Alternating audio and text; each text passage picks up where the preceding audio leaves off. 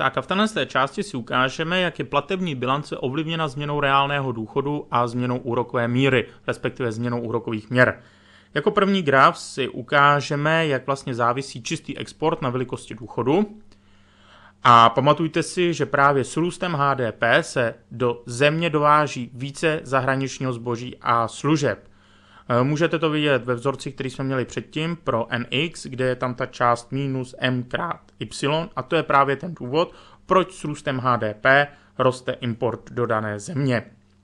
A jelikož čistý export je dán rozdílem exportu a importu, tak s růstem důchodu klesá čistý export.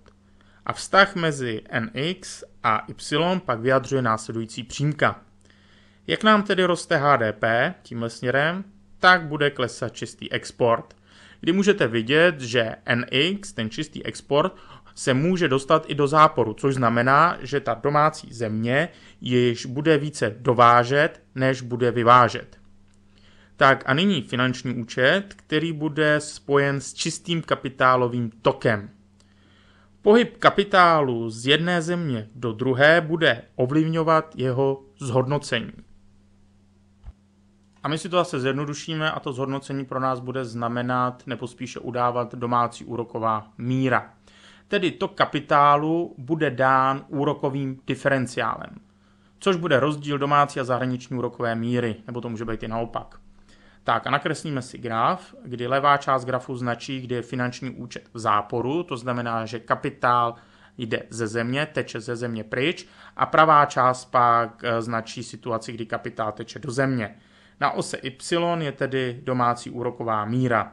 A ta přímka nám tedy ukazuje vztah mezi úrokovou mírou a tím tokem toho kapitálu. Co my tam můžeme vidět? S rostoucí domácí úrokovou mírou se finanční účet dostává do přebytku, jelikož do dané země plyne více a více kapitálu díky jeho očekávanému zhodnocení. Protože jak roste domácí úroková míra, tak ty investoři budou přicházet a ukládat víc a víc peněz v těch domácích bankách. Kdy v následujícím bodě, eh, kde vlastně ta přímka protíná osu, bude finanční účet na nule, protože příliv kapitálu se bude rovnat odlivu kapitálu. To může být situace, kdy je třeba domácí úroková míra na světové hladině. A jako poslední věc uvedeme důležitý pojem. Eh, kapitál teče tam, kde má největší zhodnocení, ale někdy jsou mu kladeny určité překážky.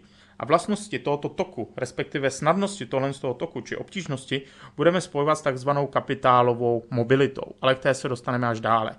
Tedy, jak vlastně bude růst ta úroková míra, tak se budeme dostávat takhle do toho přebytku. Jo, to byste si měli pamatovat. Ještě si dám jeden příklad. Když nám poroste důchod, HDP, tak bude že, růst import, tím pádem bude klesat čistý export a aby byla ta